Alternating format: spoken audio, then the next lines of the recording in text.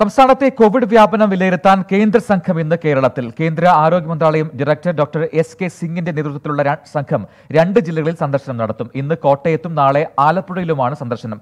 കേരളം അടക്കമുള്ള ചില സംസ്ഥാനങ്ങളിൽ രോഗം പകരുന്നത് നിയന്ത്രിക്കാൻ നടപടി വേണമെന്ന് വ്യക്തമാക്കി കേന്ദ്ര ആരോഗ്യ മന്ത്രാലയം കത്തയച്ചിരുന്നു. കഴിഞ്ഞ രണ്ടാഴ്ചകളിൽ പരിശോധനകളുടെ എണ്ണം കുറഞ്ഞതിലെ ആശങ്കയും അറിയിച്ചിരുന്നു. സംസ്ഥാനത്തെ ടെസ്റ്റ് പോസിറ്റിവിറ്റി നിരക്കിലെ വർധനവിന്റെ കാരണവും കേന്ദ്ര സംഘം വിലയിരുത്തും. സംസ്ഥാനത്തിന്റെ പ്രതിരോധ പ്രവർത്തനങ്ങളിൽ പിഴവുണ്ടായോ എന്നും പരിശോധിക്കും. തിങ്കളാഴ്ച സംഘം ആരോഗ്യമന്ത്രിയുമായി കൂടിക്കാഴ്ച നടത്തും.